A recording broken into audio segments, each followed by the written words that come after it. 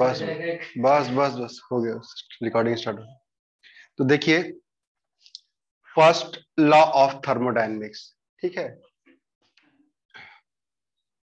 First law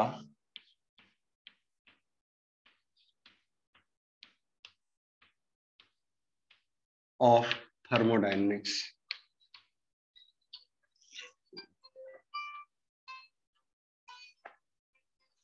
recording hello hello first law of thermodynamics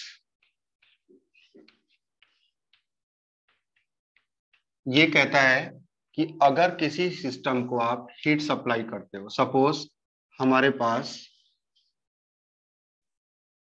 ये gases है, यहाँ पे फिलअप करी गई हैं, और ये पिस्टन है, ठीक है? और यहाँ पे बहुत सारी गैसेस भरी हुई हैं। और हम लोग ने क्या किया कि कुछ हीट सप्लाई किया सिस्टम को। तो heat supply to the system system को सप्लाई किया गया हीट जब हीट सिस्टम को सप्लाई किया जाएगा सपोज़ जो हीट सप्लाई किया गया वो डीक्यू किया गया। तो dq is heat supply to the system ये ध्यान रहे कि सिस्टम भी हीट सप्लाई कर सकता है और सिस्टम को भी हीट सप्लाई किया जा सकता है। दोनों बातें अलग अलग है। जैसे अगर सिस्टम को हम हीट सप्लाई कर रहे हैं तो इसमें सिस्टम का फ़ायदा है। और सिस्टम अगर हीट सप्लाई कर रहा है तो सिस्टम का नुकसान है। वो अपनी हीट क्या कर रहा है? बाहर दे रहा है सराउंडिंग को दे रहा है। तो हम कहते हैं कि ये जो डीक्यू है ये सप्लाई किया गया है सिस्टम को। तो जब भी आप सिस्टम को हीट सप्लाई करते हो, ठीक है, वो पॉजिटिव लिया जाता है। लेकिन जब भी सिस्टम का घाटा होगा सिस्टम हीट सप्लाई करेगा तो सिस्टम का घाटा हो गया। उसका कुछ हीट निकल गया उससे। इसका मतलब वो क्या लिया जाएगा? निगेटिव लिया जाएगा। ठीक है? तो साइन कन्वेंशन बहुत इंपॉर्टेंट है। लैंग्वेज पढ़ना बहुत ज़रूरी है। तो हम लोग कहते हैं कि dq is heat supply to the system dq हो गया dq heat supplied to the system to the system ठीक है, ये बहुत इंपॉर्टेंट लैंग्वेज है टू द सिस्टम अब जब सिस्टम को हीट सप्लाई किया जाएगा तो वो दो काम करेगा सिस्टम एक, अपने जितनी भी गैसेस हैं, उनको एनर्जी बांट देगा, है ना? That is called internal energy वो अपनी इंटरनल एनर्जी को क्या करेगा? रेस करेगा। तो हम कहेंगे कि सपोज़ वो यू उसकी इंटरनल एनर्जी है तो उसके इंटरनल एनर्जी में जो चेंज आया, वो डी यू है। तो ये क्या हो गया? Change in change in internal energy internal energy of the system system की इतने से इंटरनल एनर्जी क्या हो गई? चेंज हो गई। अब जो हीट का दूसरा पार्ट है, वो ये क्या करेगा? यूटिलाइज करेगा वर्क करने में। इसका मतलब ये पिस्टन क्या होगा? एक्सपेंड करेगा। ठीक है? एक्सपेंशन होगा। मतलब जो हीट सप्लाई करी गई सिस्टम को, उसने उस हीट को दो तरह से यूज़ किया। एक पार्ट हीट का एक हिस्सा वो अपनी इंटरनल एनर्जी रेस कराने में खर्च किया और दूसरा हिस्सा सराउंडिंग पे वर्क किया। अगर यहाँ पे ये वर्क कर रहा है एक्सपेंशन हो रहा है तो हम कहेंगे सराउंडिंग पे इसने क्या किया? वर्क किया। तो हम कहेंगे D W that is work done work done by the system ये ध्यान रहे by the system by the system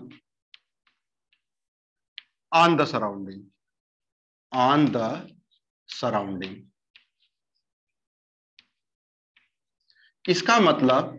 अगर एनर्जी प्रिंसिपल देखें according to conservation of energy principle तो जो इसको एनर्जी सप्लाई करी गई है इन फॉर्म ऑफ़ हीट इसने दो जगह यूटिलाइज किया।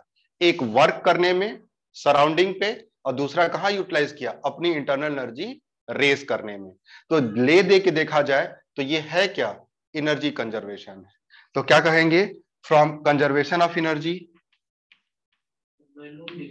from conservation of energy. हम लोग क्या कहेंगे? कि जो DQ है, वो किसके इक्वल हो जाएगा? जो DQ है, वो DU और प्लस क्या हो जाएगा? DW के इक्वल हो जाएगा। और DW हम लोगों ने क्या पढ़ रखा है? PDV होता है है ना?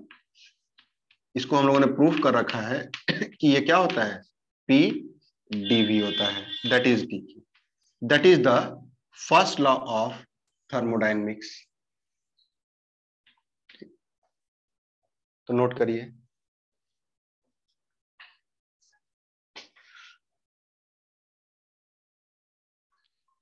लिखिए। according to first law of thermodynamics,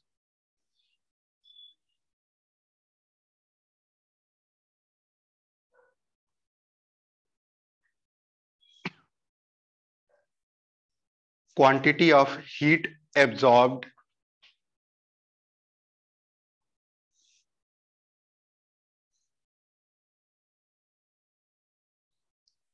by the system is equal to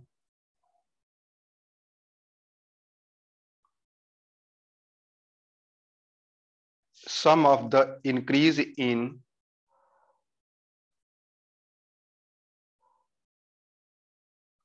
its internal energy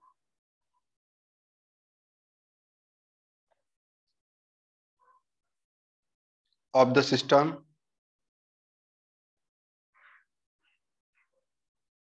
and the external work and the external work done by it.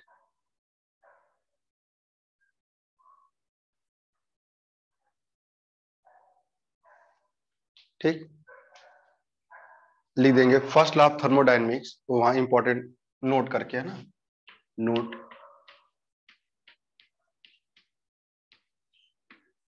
first law of thermodynamics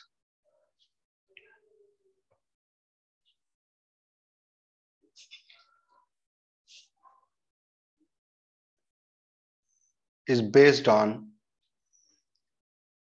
energy conservation principle energy conservation principle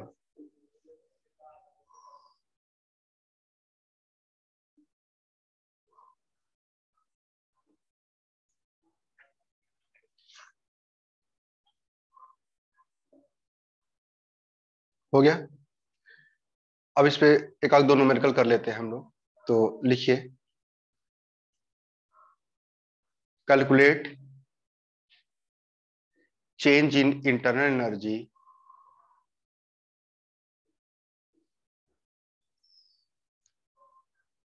in following cases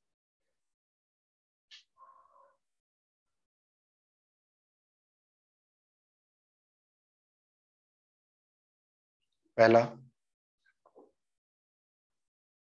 heat supply to the system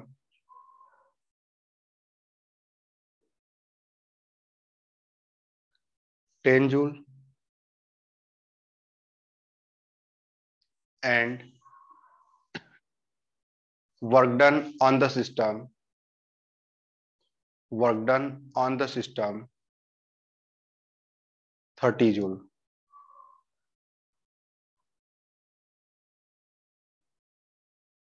दूसरा।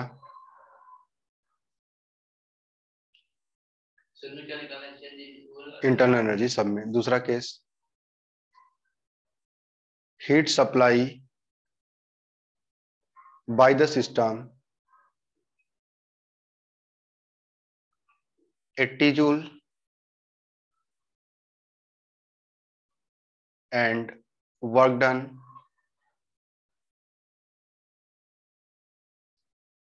by the system 20 joule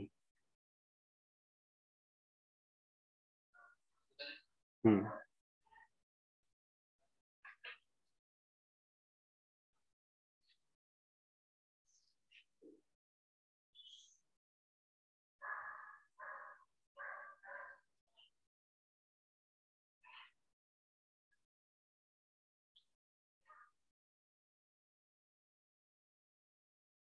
Ayush भी नहीं है आज। Wait नहीं कर। रहा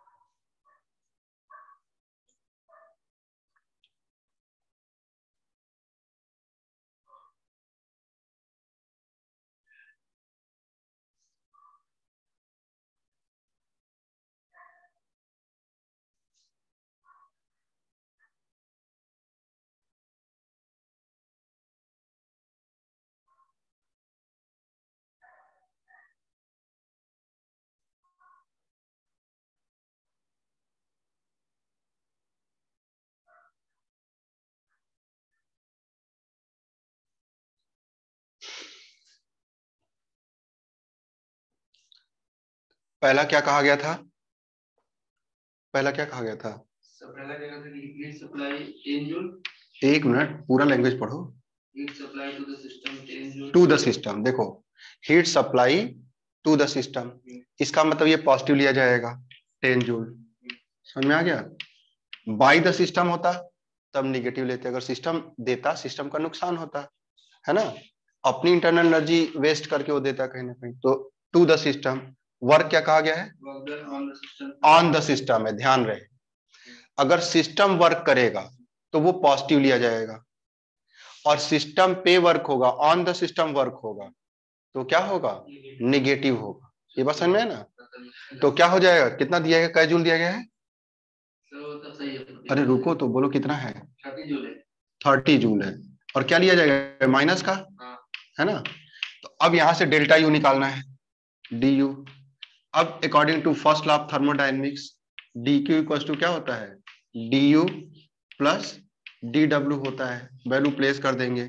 तो D Q हो गया अपना टेन डी यू हो, निकालना है, और ये माइनस थर्टी हो गया। तो आंसर क्या आ गया? फोर्टी जूल ठीक है? अब सेकेंड में क्या कहा गया है? सेकेंड बाई द सिस्टम है। इसका मतलब सिस्टम का नुकसान हो रहा है है ना? निगेटिव लिया जाएगा। कितना है? माइनस का 80 जूल उसके बाद और क्या कहा गया है? वर्क बाई द सिस्टम है। पॉजिटिव लिया जाएगा है ना?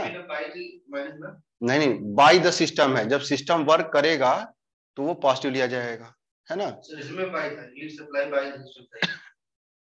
हाँ तो heat supply by the system negative है। डन बाय द सिस्टम हाँ पॉजिटिव लिया जाएगा। सिस्टम जब वर्क करेगा तो वो पॉजिटिव होगा। और सिस्टम पे वर्क अगर होगा तो वो निगेटिव लिया जाएगा है ना? तो कितना कितना जूल था? सर 20 जूल ट्वेंटी जूल और बाई द सिस्टम है इसका मतलब ये क्या लिया जाएगा? पॉजिटिव लिया जाएगा। ये बात समझ में आ गया? अब यहाँ रख देंगे हम लोग तो क्या हो जाएगा? Minus eighty equals to d u और प्लस क्या हो गया? डी डब्ल्यू मतलब ट्वेंटी तो कितना आ गया? माइनस का। समझ आ गया कि नहीं आ गया? तो ये अलर्ट रहना है। बाय द सिस्टम है या ऑन द सिस्टम है? इसमें भी इसमें तो कोई दिक्कत है क्या? तो स्पेसिफिक हीट ऑफ़ गैसेस जब भी आप किसी किसी गैस को as a system heat supply करेंगे तो वो क्या करता है? अपनी इंटरनल एनर्जी क्या करता है? रेज करता है, बढ़ाता है। और अगर सिस्टम से हीट सप्लाई हुई है तो उसका इंटरनल एनर्जी क्या होगा? डिक्रीज करेगा। टेम्परेचर डिक्रीज करेगा। क्योंकि इंटरनल एनर्जी जो होती है डायरेक्टली डिपेंड करती है किसके ऊपर?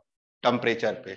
सिर्फ़ वो टेम्परेचर का फ़ंक्शन होती है। सिर्फ़ टेम्परेचर पे डिपेंड करती है इंटरनल एनर्जी जैसे अगर एक एक गैस मॉलिक्यूल हमने पकड़ लिया, एक गैस मॉलिक्यूल और इसे कहें कि इसके पास जो एनर्जी होगी, अगर एक्स एक्सिस तरफ़ सिर्फ़ ये मूव करता तो इसके पास जो एनर्जी होती, ये वन डायमेंशन की वजह से हाफ़ के टी की होती half k into t that is called k is called Boltzmann constant तो हर एक डिग्री ऑफ़ फ्रीडम के साथ अब डिग्री ऑफ़ फ्रीडम क्या होता है? ये जानना ज़रूरी है है ना? ये हम लोग गैस पे पढ़ेंगे के में लेकिन अभी थोड़ा सा आइडिया दे दे रहे हैं।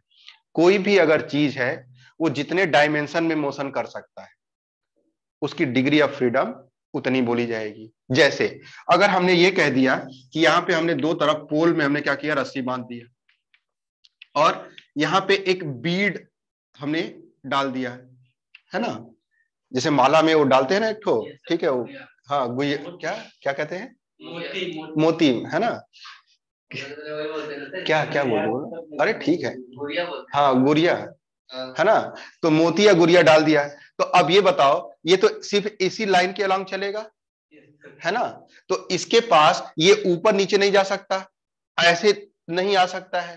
तो इसके पास जो फ्रीडम है वो वन डायमेंशन की है। तो इसका डिग्री ऑफ़ फ्रीडम क्या बोला जाएगा? वन बोला जाएगा। लेकिन अगर इस, यहीं पे एक चीटी आ जाती, है ना? तो चीटी क्या होती? बोर्ड पे इधर भी जा सकती थी और बोर्ड पे ऊपर भी जा सकती थी। इसका मतलब कि वो उड़ेगी तो नहीं, है ना? वो उड़ेगी तो नहीं, लेकिन वो अलोंग द एक्स एक्सिस भी चल सकती है और अलोंग द वाई भी चल सकती है। इसका मतलब उस चीटी के पास जो डिग्री ऑफ़ फ्रीडम है, इस बीड से ज़्यादा है। इसके पास सिर्फ़ एक डिग्री ऑफ़ फ्रीडम है, लेकिन उस चीटी के पास दो डिग्री ऑफ़ फ्रीडम है।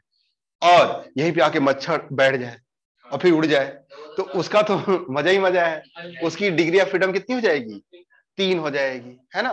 तो डिग्री ऑफ़ फ्रीडम का मतलब होता है कि कोई भी ऑब्जेक्ट फ्रीली कितने डायमेंशन में मोशन कर सकता है। जैसे हमने इस बीड की बात करी, इसके पास डिग्री ऑफ़ फ्रीडम वन थी। इसी तरह से जो ये जो हम चीटी की बात करें, उसकी डिग्री ऑफ़ फ्रीडम टू थी। लेकिन मच्छर डिग्री ऑफ़ फ्रीडम क्या हो गई? थ्री हो गई।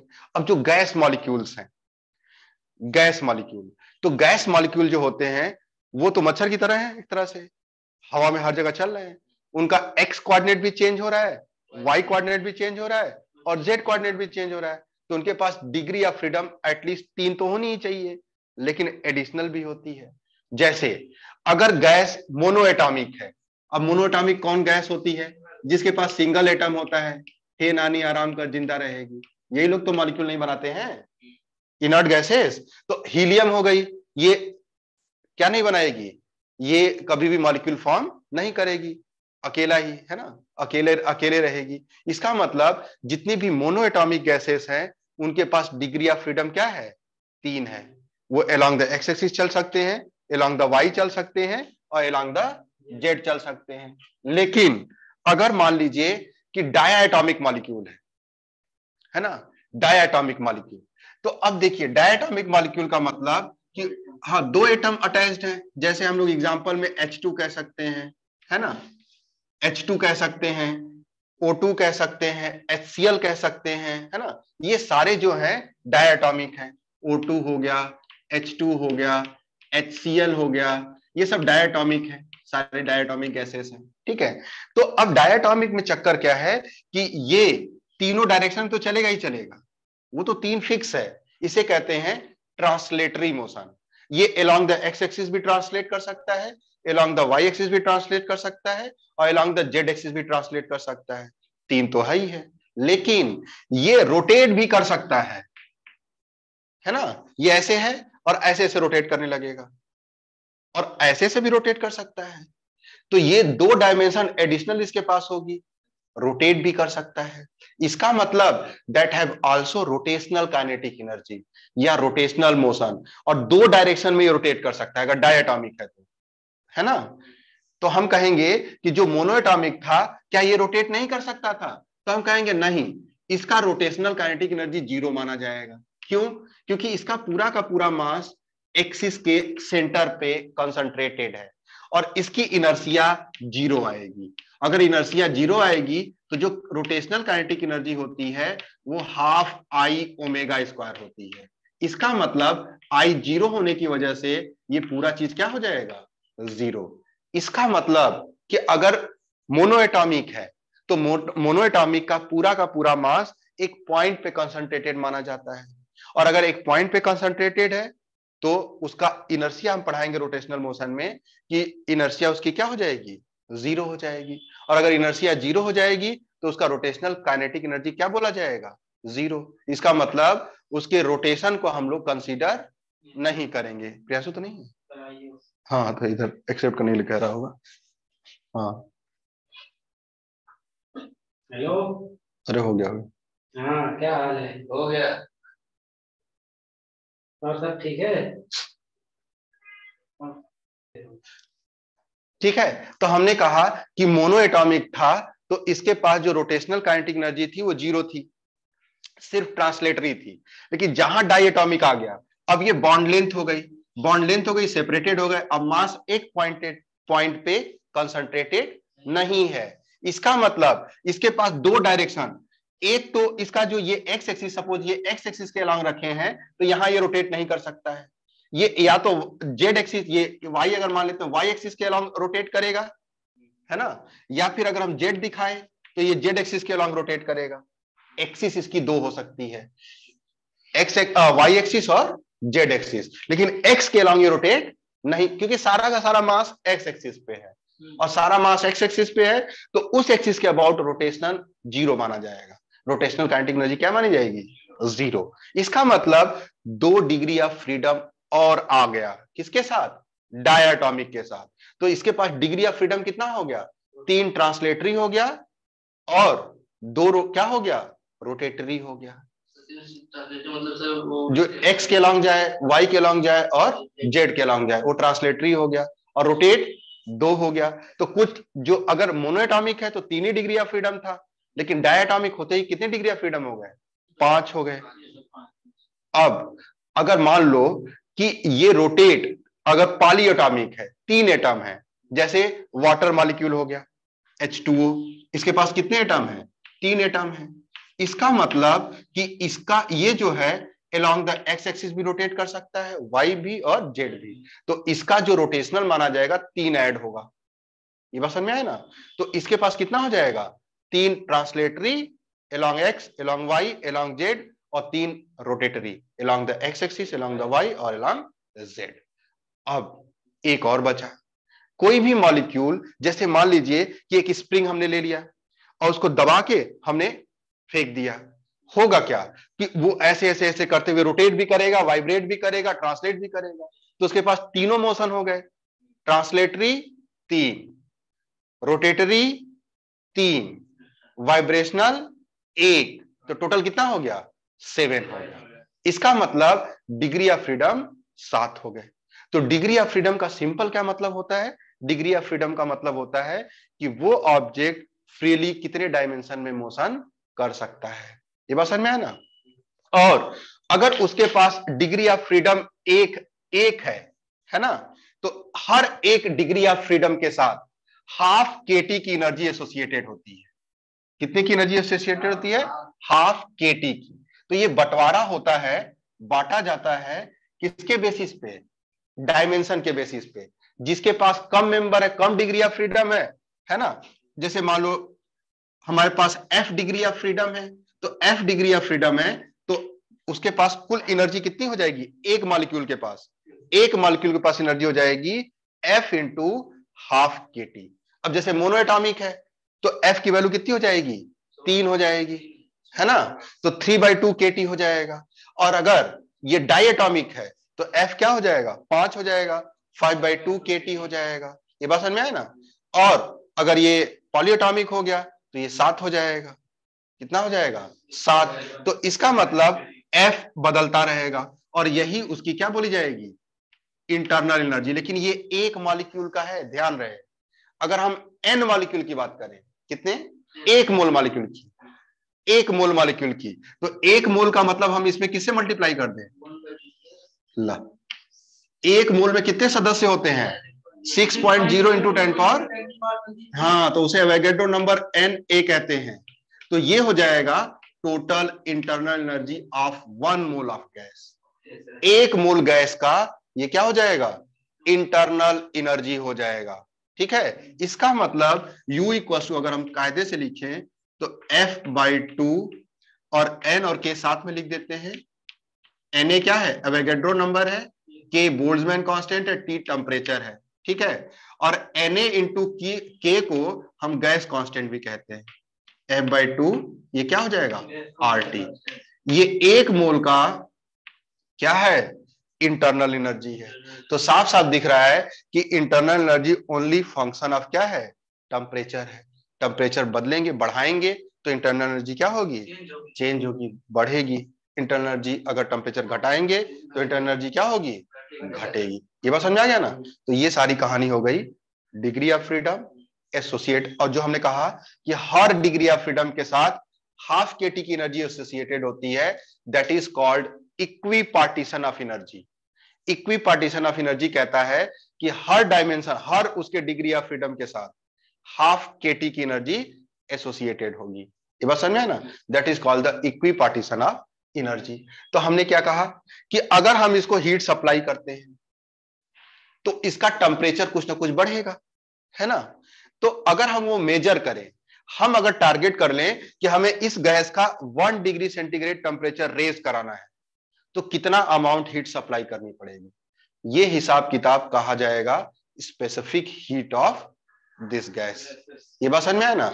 अब इसका मतलब कि अगर हम इस गैस को डेल्टा क्यू हीट सप्लाई कर रहे हैं और इसमें इसके अंदर एन मोल गैस भरा हुआ है और डेल्टा टी टेम्परेचर राइज किया डेल्टा टी टेम्परेचर राइज किया तो दैट इज़ द ठीक है अमाउंट ऑफ़ हीट सप्लाइड किसके लिए हो गया? वन मोल के लिए एन से डिवाइड कर दिया तो अब वन मोल का हिसाब हो गया। वन मोल के लिए और वन डिग्री सेंटीग्रेड के लिए या वन डिग्री केल्विन कह लें है ना? तो वन डिग्री केल्विन राइज कराने के लिए for one mole of gas जितने अमाउंट ऑफ़ हीट का सप्लाई हो रहा है that is called the specific heat या एक मोल की बात कर रहे हैं तो इसे कहते हैं मोलर स्पेसिफिक हीट क्या कहा जाता है? मोलर स्पेसिफिक हीट तो यहाँ पे हम लोग मोलर शब्द और इस्तेमाल कर लेते हैं। ठीक है, मोलर स्पेसिफिक हीट अब दूसरा सवाल पैदा होता है कि क्या ये मोलर स्पेसिफिक हीट फिक्स होता है या प्रोसेस पे डिपेंड करता है? तो आंसर है, ये प्रोसेस टू प्रोसेस डिपेंड करता है। डिपेंड करता है कि आप सिस्टम को कैसे चेंज कर रहे हो। स्टेट वन से स्टेट टू में कैसे जा रहे हो? हम लोगों ने देखा था। क्या क्या था?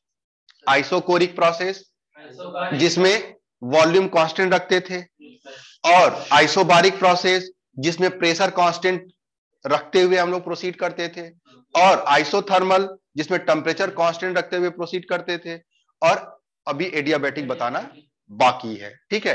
तो हम लोग कहेंगे कि सिस्टम को अगर एक स्टेट से दूसरे स्टेट में हम ले जा रहे हैं तो प्रोसेस पे ये स्पेसिफिक हीट डिपेंड करेगी। और उसका हिसाब किताब हम लोग देखते हैं कि कैसे डिपेंड करती है। तो मान लीजिए कि हमने ये स्टेट वन है थर्मोडाइनमिक स्टेट वन है। और ये थर्मोडाइनमिक स्टेट क्या है? टू है। ठीक है? थर्मोडाइनमिक स्टेट टू हो गया। अब हम लोगों ने कहा कि अगर स्टेट वन से स्टेट टू जा रहे हैं और वॉल्यूम कांस्टेंट रखे हैं। ठीक है? और वॉल्यूम कांस्टेंट रखने का मतलब कि, वॉल्यूम कांस्टेंट रखने का मतलब कि सी के सफिक्स में हम वी लगा देंगे। इसे पता चलता है कि स्पेसिफिक हीट हम काउंट कर रहे हैं कब? वॉल्यूम कांस्टेंट रख के। इसे कहा जाता है सीवी सीवी मतलब molar specific heat capacity at constant volume ठीक है? तो ये क्या हो जाएगा? That could be written as a delta Q upon n delta T, लेकिन ये पूरी क्वांटिटी एट कांस्टेंट वॉल्यूम पे बात होगी। है ना? यहाँ लिखने का मतलब कांस्टेंट है। इसका मतलब delta Q first of thermodynamics क्या लिखते हो आप? डेल्टा, क्या होता था? Delta U plus delta W होता था। अपॉन एन डेल्टा टी हो गया, और ये कांस्टेंट वॉल्यूम पे है।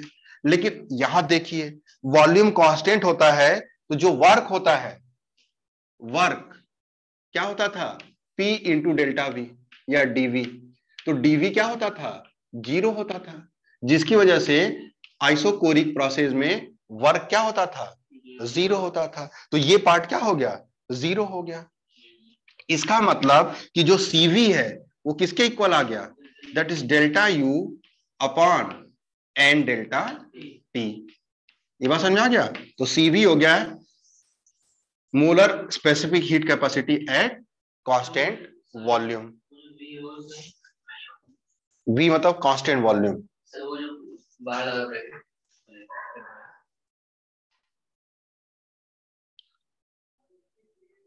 तो molar specific heat capacity at constant volume हमारा क्या आ गया? रिड्यूस होके CV V for constant volume CV आ गया that is equal to delta U by n into delta T ठीक है? इसको हम लोग इस्तेमाल कर लेंगे। अब हम लोग क्या करना है? वॉल्यूम की जगह पे अब प्रोसेस को ऐसे प्रोसीड कराना है या स्टेट वन से स्टेट टू जाना है बाय प्रेशर कीपिंग कांस्टेंट हमें मॉनिटर करते रहना है कि प्रेशर चेंज ना हो। इसका मतलब बाकी सारे थर्मोडाइनमिक कोऑर्डिनेट्स क्या क्या होते थे? टेम्परेचर होता था वॉल्यूम होता था और प्रेशर होता था। तो हम इन दोनों थर्मोडाइनमिक कोऑर्डिनेट्स को फ्री कर देंगे कि तुम चेंज हो सकते हो। लेकिन प्रेशर रेस्ट्रिक्टेड है। प्रेशर चेंज नहीं हो कॉन्स्टेंट पे इसका मतलब कि हम बात कर रहे हैं उस समय जो हीट सप्लाई करके हम क्या अचीव करने वाले हैं? वन डिग्री सेंटीग्रेड का रेज इन टेम्परेचर गैस का। तो हमारा टारगेट है कि गैस का one degree centigrade temperature rise करवाना है बाय सप्लाइंग द हीट लेकिन केयर क्या करना है? प्रेशर चेंज नहीं होना चाहिए। तो उस समय जो specific heat capacity at constant pressure हो जाएगा प्रेशर दैट इज़ डेफिनेशन तो यहीं से स्टार्ट होगी। लेकिन ये वी की जगह पे हम क्या लिख देंगे? कांस्टेंट प्रेशर सीपी हो जाएगा। ठीक है? यहाँ पे क्या हो जाएगा आपका? पी हो जाएगा। अब ये जो आपका डेल्टा डब्ल्यू वर्क ज़ीरो हो रहा था, अब वो वर्क ज़ीरो नहीं होगा। नॉन ज़ीरो होगा। क्या आ जाएगा? पी डेल्टा वी तो अगर हम लोग इसको मिटा के आगे प्रोसीड करें तो डेल्टा यू को हम लोग डेल्टा डब्ल्यू को लिख देंगे पी इंटू डेल्टा वी तो that is written as a delta अच्छा डेफिनेशन के लिए बस यहीं तक लिखेंगे, है ना? डेफिनेशन के लिए सिर्फ़ इतना ही लिखेंगे कि CP equals to delta Q by n delta T at constant pressure ठीक है? आगे हम प्रोसीड कर रहे हैं, इससे एक रिलेशन आएगा सीपी और सीवी के बीच में। ठीक है? देखिए कैसे आता है। यहाँ पे हम लोग लिख देंगे delta U upon n delta T, n delta T और plus delta W delta W को हम क्या लिख देंगे? P into delta V.